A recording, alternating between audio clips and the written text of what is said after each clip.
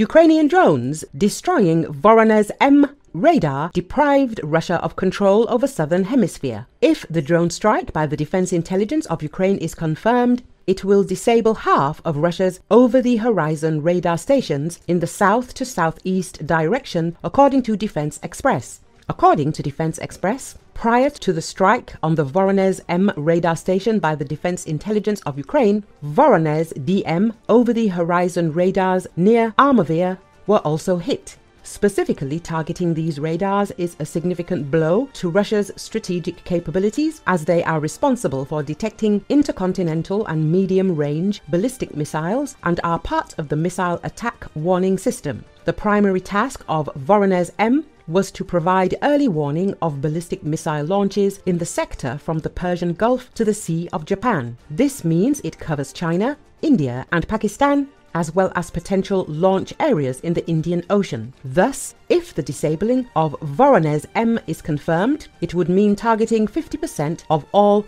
over-the-horizon radars responsible for the conditional southeast direction, Defense Express notes.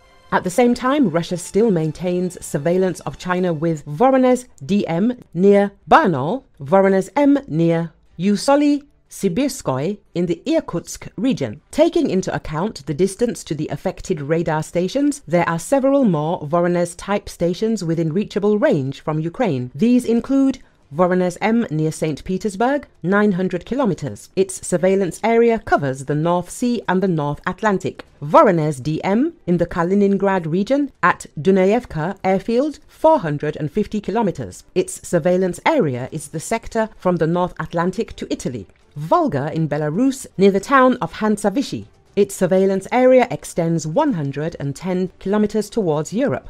On May the 26th, according to an RBC Ukraine's source, a defense intelligence of Ukraine drone attacked the Voronezh M over-the-horizon radar in the city of Orsk, Orenburg region of the Russian Federation. The Ukrainian drone covered a distance of over 1,800 kilometers to the enemy target, setting a new range record for kamikaze drones the source reported.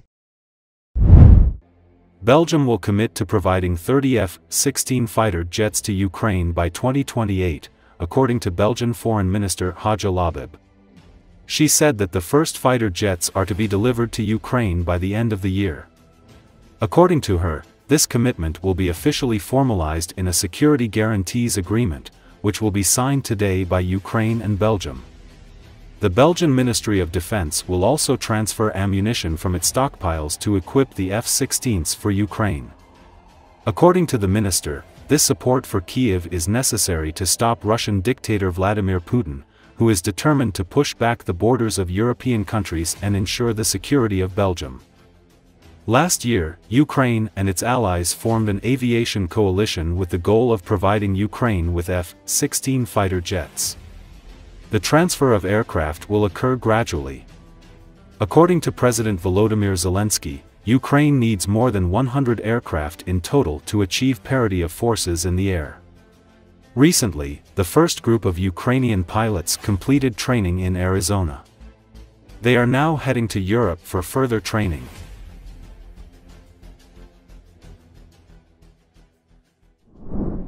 Spain has announced to send Patriot missiles and Leopard tanks to Ukraine as part of a $1.23 billion weapon package announced last month, El País newspaper reported, citing unidentified sources close to the operation.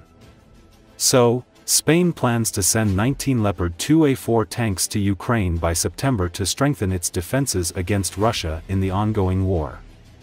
General Dynamics European Land Systems has been chosen to provide all of the commissioning services for the tanks.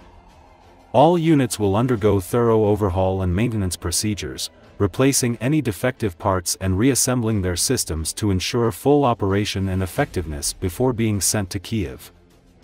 Work for the vehicles will be carried out at their Alcalá de Guadaíra factory in Seville. The delivery is the second batch of Leopard tanks sent from Madrid to Ukraine, following the initial transfer of six in 2023. The new weapon delivery commitment will be announced during an official visit by Ukrainian President Volodymyr Zelensky to Madrid, where he will meet with Prime Minister Pedro Sanchez and King Felipe, the paper said. The worth of the package was approved last month by the government, though it did not specify which weapons were included.